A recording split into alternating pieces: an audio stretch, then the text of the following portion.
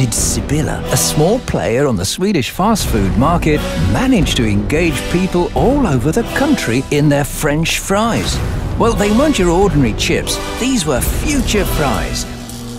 Crinkled, crispy, and really, really delicious. And they'd let you see into the future. But let's take it from the top.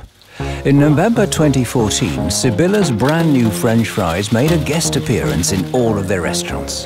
If customers like them, they'll come back in 2015 to stay for good. Simply put, these fries paid a visit from the future. So we named them Future Fries. But we didn't stop there. We wanted everyone who tested the fries to also have the opportunity to get a taste of their own future.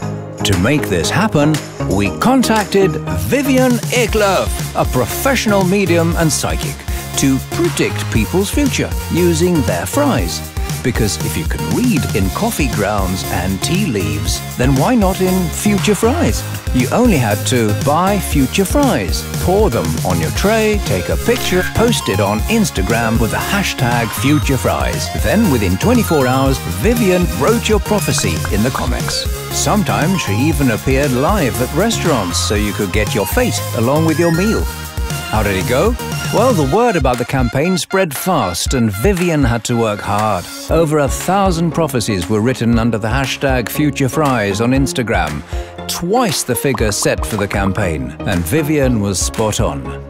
Altogether, the hashtag gained more than 38,000 likes and reached more than 1.1 million Instagram users. At the same time, Sibylla's followers grew by 1,533%. And last but not least, the sales at Sibylla restaurants increased by up to 35% compared to the same period last year.